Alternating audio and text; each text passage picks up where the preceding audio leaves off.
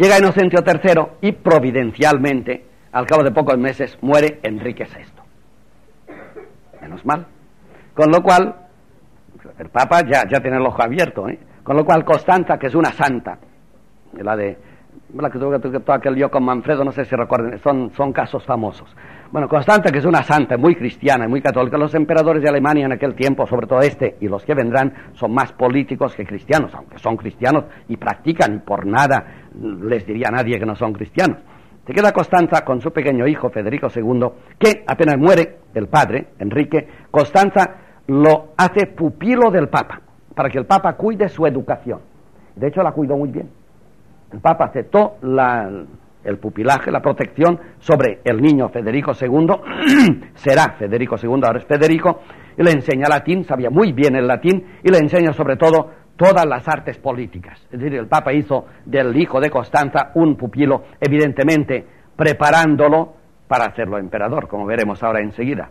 Lo que pasa es que apenas el nene fue emperador, a los 20 años, utilizó todo lo que el Papa le había enseñado contra el Papa, realmente. Hombre, esto se llama cría cuervos, sin ofender, porque Federico II, bueno, sí, tenía la vista de cuervo, desde luego, desde luego, uno de los grandes emperadores alemanes. Bueno, muere Enrique VI. ¿Y qué sucede? Ahora verán todo lo que, todo, todo, explicado todo lo que he dicho en un hecho. Enrique VI muere y hay dos facciones en Alemania, la de Brunswick, que elige como futuro emperador, más retrocedo, si no nos entenderemos. Muere el rey de Alemania, que es el emperador. Esto conviene decirlo así, ¿eh? El rey de Alemania, que es emperador. Muy bien. Muere. Una facción alemana elige a Otón IV de Brunswick para que sea rey de los alemanes. Pero la parte de los Hohenstaufen, la, familia de Enrique VI, elige a Felipe de Suabia, hermano de Enrique VI, como futuro rey de los alemanes. Y ustedes dirán, ¿y por qué no eligen al hijo de Enrique VI? No tiene nada que ver que tenga 15 años el niño, no tenía menos, me acuerdo cuántos, pero era muy joven. Eh, ¿Y por qué no eligen los electores alemanes al hijo del emperador muerto? Porque le consideraban demasiado débil los electores alemanes, sobre todo para enfrentarse con el Papa, porque ya sabían que el Papa iba a dar el nuevo Papa. Así que curiosamente, Alemania se divide en dos partes, en dos partes, esto se dice la, la lucha por el imperio. Unos eligen a Otón de Brunswick, que tenía de su parte a los ingleses. Los ingleses, acababa de morir Ricardo Corazón de León en la cruzada, y los ingleses tenían un rey muy poco querido, que era Juan sin tierra. Tan poco querido que le atenazaron hasta que Juan sin tierra en la Carta Magna 1215, ven cómo son estos tiempos, les concedió los derechos que dieron origen al Parlamento. Entonces, estos son estos tiempos. Bueno, pues Juan sin tierra, ya saben, pues llama sin tierra, es una cuestión papal también, ya saldrá. Juan sin tierra era aliado de los alemanes que eligieron como futuro rey de Alemania a Otón IV. Pero la otra facción, los amigos de la familia de Enrique VI, eligen al hermano de Enrique VI, que es Felipe de Suabia, para que sea el sucesor de Enrique VI. Ya tenemos pues, dos, este, este Enrique VI es favorecido por el rey de Francia que era todopoderoso. Este era Felipe II Augusto, un grandísimo rey, poderosísimo y listo también. Sobre todo tenía unos canonistas que le aconsejaban bien. Bueno, pues ya tenemos, digamos, Europa dividida por la cuestión del imperio, claro. Pero notemos bien, la facción de Otón elige como futuro rey de los alemanes a Otón. Y la facción de los suavos elige a Felipe de Suabia como futuro rey de los alemanes. ¿Y ahora qué pasa? Hombre, pues la guerra. No. Ambas facciones envían una legación al Papa a ponerle el tema delante. Ahora aparece el tema. ¿Cómo? Qué humillación. tú, tú haces periodismo barato y ya está. Qué humillación la de los alemanes. O sea que eligen dos candidatos a ser reyes y luego los mandan al Papa para que decida cuál de los dos es el más guapo. Y el Papa encima, que vio su tajada, dice, y lo voy a decidir. Esto, es, esto, es, esto no entender nada de la Edad Media. Para un fin de curso basta hacer una pregunta al alumno. ¿Por qué las dos facciones alemanas que eligen rey de Alemania, cada una, en vez de ir a la guerra a dirimir el tema, lo subponen, eh, lo ponen debajo de la decisión del Papa. Si no sabes contestar, ya no has entendido el imperio. Porque estos dos reyes de Alemania, pueden ser reyes de Alemania, todo lo que quieras, lo dirá el Papa, pero como hay división, oposición entre unos electores y otros, resulta que si no lo mandamos al Papa a que decida, ¿sabe lo que sucederá? Que si vamos a la guerra y ganamos la facción que el Papa no quiere, tendremos rey de Alemania, pero no tendremos emperador. ¿Quién decide quién es el emperador? El Papa. ¿Y por qué lo decide? Porque el emperador ha de defender a la Iglesia. Está claro. no es que los alemanes se humillen a que el Papa dirima una situación de reino, se dice así y se ha dicho muchas veces, y son disparates. No es que se humillan a que el Papa diga quién es el rey de Alemania, quién es el Papa para decir quién es el rey de Alemania, sino que lo que quieren es que el Papa diga quién es el rey de Alemania al cual él está dispuesto a coronar emperador. Que la corona del imperio la tiene el Papa. Esto está claro. Bien, se presentan las dos facciones, el Papa los, reciba, los recibe muy solemnemente y muy dignamente, y después les dice, ahora podéis marcharos o esperar, es igual, contestaré. Así es de solemne el niño de 37 años. Contestaré. Bueno, y llevó la cosa a consistorio, lo consultó con sus cardenales, pero él tenía las ideas muy claras y contestó lo siguiente. Felipe de Suabia pertenece a la familia de los Hohenstaufen, que, tanto en el último emperador, Enrique VI, el hermano del emperador propuesto, cuanto en su padre Enrique V han sido pertinaces, perseguidores de los intereses de la Iglesia. Respuesta, no coronaré como emperador, muy listo el Papa, no habla de rey, ¿eh? no, no, el rey puede ser eh, Felipe de Suabia. No estamos dispuestos a coronar como emperador a Felipe de Suabia. Si lo queréis emperador, eh, rey, vosotros veréis contesta a la facción de Otón IV, dado que Otón da la impresión de ser un buen hijo de la Iglesia y que además parece que está dispuesto a defender los intereses de la Iglesia, nosotros estamos dispuestos a coronar emperador a Otón IV. Y de hecho lo coronó emperador. ¿Qué hicieron los alemanes? Pues aceptaron, a regañadientes, pero aceptaron, porque lo que querían era el honor del imperio. Es que Inocencio III añade una cosa muy seria, que es una teoría propia suya, se llama teoría de la translatio imperii, traslación del imperio. Y dice primero, no estoy dispuesto a coronar a un perseguidor como será Felipe de Suabia. Y sí estoy dispuesto a coronar a un amigo de la iglesia como será, y es Otón IV. Y él mismo dice, si los alemanes no aceptan mi decisión, yo no meto la hoz en sembrado ajeno. Que bien dicho, muy medieval, ¿verdad? Yo no voy a cegar en casa del vecino. Yo no meto la hoz en, sembrado ajeno. Si los alemanes no aceptan mi decisión, tendrán el rey que ellos decidan, que hagan la guerra y veremos quién gana de los dos. Pero recuerdo a los alemanes que si el rey que ellos impongan no es de nuestro gusto, nosotros, el Papa, tenemos la fuerza y el poder de trasladar el imperio.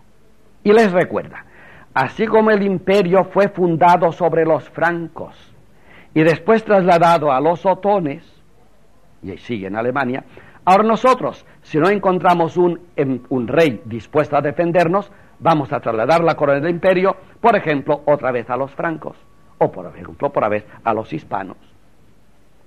Amenaza con la traslación imperial lo cual, insisto, otra vez poder del Papa.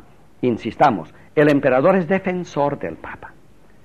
Si los alemanes eligen rey a uno que no va a defender el Papa, el Papa no se opone a que sea rey, que sea rey Felipe de Suabia si lo, lo queréis, pero si se opone a coronarlo emperador, porque sé que él no me defenderá y ser emperador significa defender a la iglesia. Y por tanto, para que la iglesia no carezca de defensor, lo que vamos a hacer es trasladar el imperio. Esto, esto no gustó a los alemanes y aceptaron a Otón. Las cosas se complicaron mucho porque al final Otón con los ingleses y Felipe de Suabia con los franceses eh, fueron a la guerra al final, aunque aceptaron de principio, fueron a la guerra. Lo curioso fue que Otón, antes de empezar su guerra para su imperio, ya demostró que al Papa no le respetaría mucho. Es curioso. Estos reyes, llegados a reyes, luego devoran lo que sea, con lo cual el Papa le retiró bastante su favor. Se encontraron en 1214 en Bouvines, fue una batalla famosa, se decidió el futuro de Europa y perdió Otón. Perdió Otón, sí. Pero entre tanto, esto ya en 1214, entre tanto, el Papa, que había retirado su favor a Otón, hizo que los alemanes eh, en vez de apoyar después de la guerra a Felipe de Suabia, apoyaran al pequeño Federico, que había crecido. Y como era su pupilo y su hijo espiritual, lo coronó emperador solemnemente.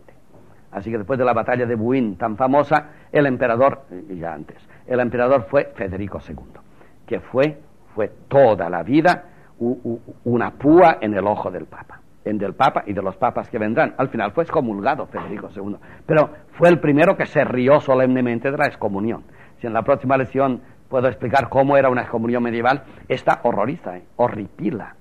La de, Federico II es horrible, horrible. Se hizo en, la catedral y además todos los presentes tenían una vela. Cuando el Papa proclamó que el emperador Federico, en Federico era hereje y excomulgado, todo el mundo en la catedral en la noche, no hay luz en la catedral más que las velas, ¿sí? Puso la vela cabeza abajo y aplastó la llama en el suelo. Y se quedó, cuando el Papa terminó de hablar, excomunicándolo, excomulgándolo, la catedral quedó a oscuras, sole, toda, totalmente.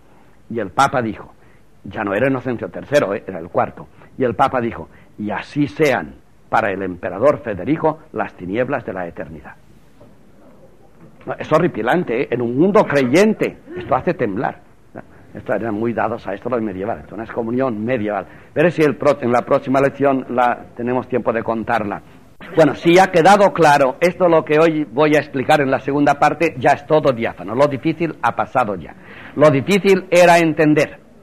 Entender, no es defensa de, intereses eclesiásticos, espero que esto quede muy claro. Lo difícil es entender que la institución, vivísima y poderosísima, que se llama Sacrum Romanum Imperium Germanicum en este momento, es una institución que la Iglesia y Carlo Magno fundaron para defensa de los intereses de la Iglesia. El emperador, por tanto, es defensor de los intereses de la Iglesia. Para que los pueda defender, ha de ser un hombre poderoso, por tanto, será siempre un rey el emperador. Pero para que los pueda defender a gusto del Papa, que son los intereses del Papa, el Papa corona el emperador. Corona y lo unge como ungió a Magno y como ungió a Otón I y a los otros a través, o directamente, o a través del el arzobispo de Colonia o el obispo de Aquisgrán.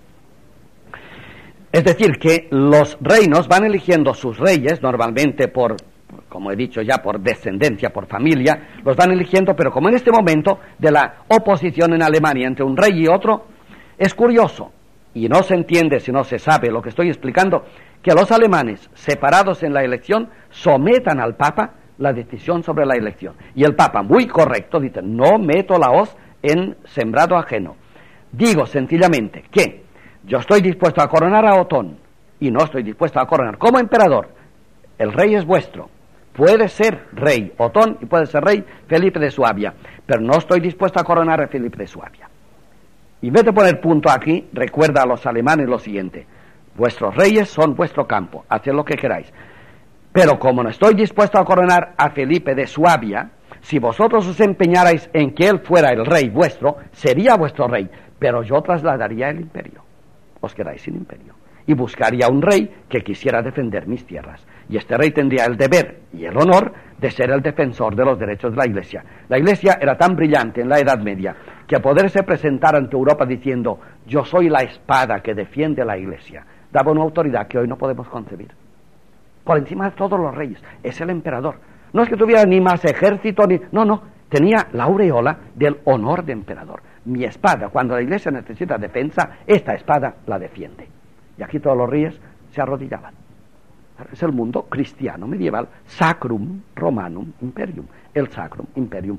Esto es tan importante, luego ya diré el final, es tan importante que en aquel tiempo hubo un rey de Bulgaria, ¿saben ustedes?